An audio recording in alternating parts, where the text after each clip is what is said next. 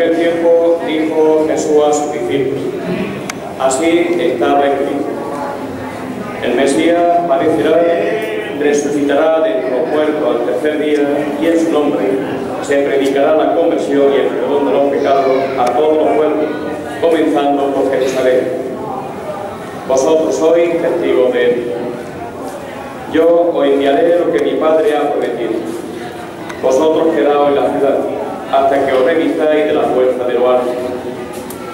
Después lo sacó hacia Betania y, levantando las manos, lo bendijo. Y mientras lo bendecía, se separó de él, subiendo hacia el cielo. Ellos se postraron ante se volvieron a Jerusalén con gran alegría. Y estaban siempre en el templo bendiciendo a Dios. Palabra del Señor.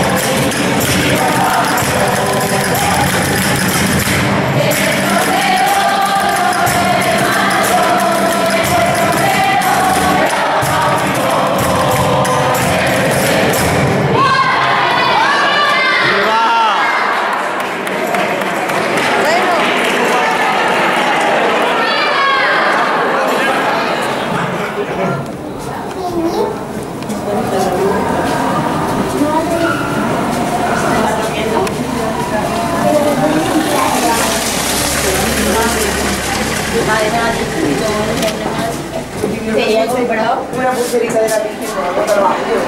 Yo ya comprado como la vieja tenía la y la un trabajo